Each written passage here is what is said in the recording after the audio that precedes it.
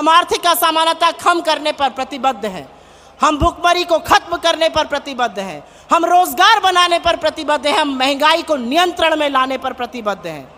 मैं आपसे पूछती हूँ, जो महँगाई की बात करते हैं, प्राइम मिनिस्टर से बात करो या मंत्रियों से बात करो तो वो ऐसा सच्चाई से पलड़ा झाड़ लेते हैं। उनको महँगाई का आईना दिखाओ तो आँखें मूंद लेते हैं और प्रधानमंत्री तो मुँह में दही जमा लेते हैं।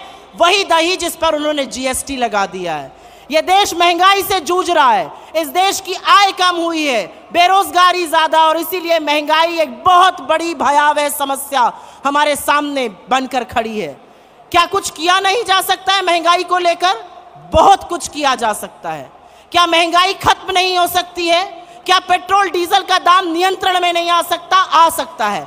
लेकिन यह सरकार मुनाफाखोरी करना चाहती है। ये पैसा बनाना चाहती है, आपकी जेब पर डाका डालना चाहती है, इसलिए महँगाई को खत्म करने का नाम नहीं ले रही।